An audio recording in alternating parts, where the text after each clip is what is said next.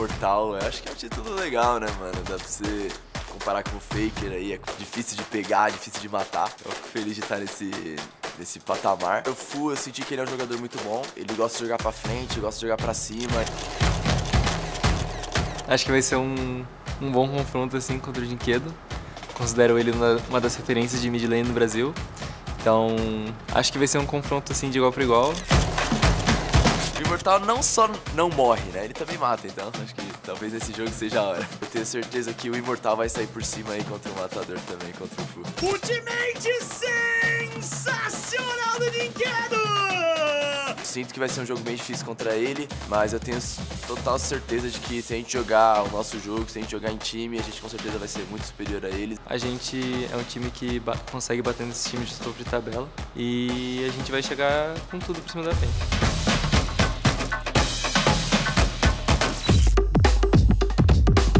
Jogar contra a PEN pela primeira vez acho que vai ser muito divertido porque vai ter a experiência de ter primeira vez jogando contra a torcida da PEN. Acho que na hora que eu entrar no palco assim vai dar um gostinho diferente. Acho que o confronto na bot lane contra a PEN vai ser muito divertido, eles são jogadores muito bons, então acredito que se eu cometer qualquer erro, o Ismael cometer qualquer erro, a gente vai ser punido e a gente tem que estar preparado para punir eles também.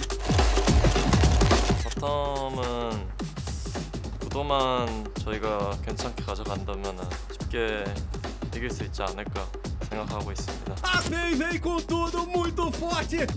A gente tem bastante vantagem em mid jungle, acho que se eu e o Kaká conseguir jogar junto, jogar bem, acho que a gente vai conseguir ditar o rumo do jogo. Honestly, I've been a bit pissed because we've lost to all the top teams so far, and we've only beat the, the bottom teams, the teams that I think are just not that good. Really huge matches for me personally, because I want to prove that we're here to be at the top, you know, we're here to contest with the top and to contest for the title, so this is a big first step for me. Vou dar meu máximo para conseguir jogar bem e fazer um grande espetáculo para todo mundo que estiver assistindo.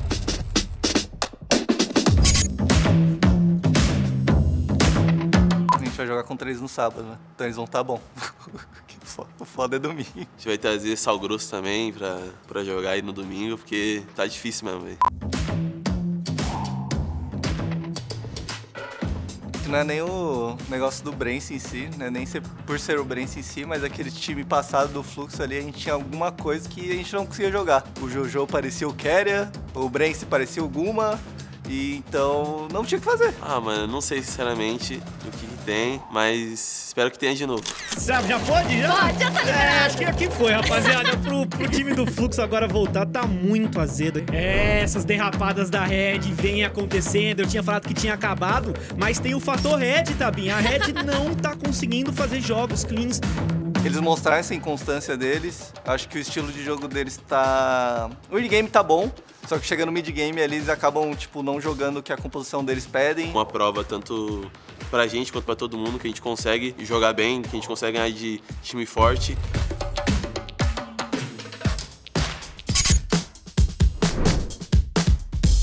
샌드박스에 있었을 때 같이 경기를 제 기억에 한 경기 정도 뛰었던 것 같아요 LCK를 근데 그때 당시에는 제가 그때 당시에는 제가 좀 더 루트 선수에 비해 좀 더 부족한 느낌이라고 제, 저는 그때 당시 그렇게 생각을 했, 하기도 했고 실제로 제가 그때 막 데뷔한 신인 느낌이라 되게 모르는 것도 많고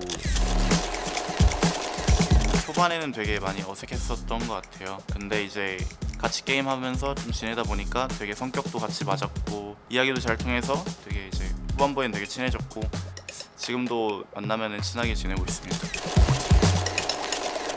거 같아요 제가 느끼기에는 근데 이제 지금 이제 11월에서 여기서 만났을 때 느낀 점은 그냥 루트 선수는 그냥 제가 알던 루트 선수 그대로였고 그냥 제가 느끼기에는 저는 좀 그때에 비해서 많이 성장을 했다고 생각을 해서 이번 주말에 재밌는 경기 했으면 좋겠습니다.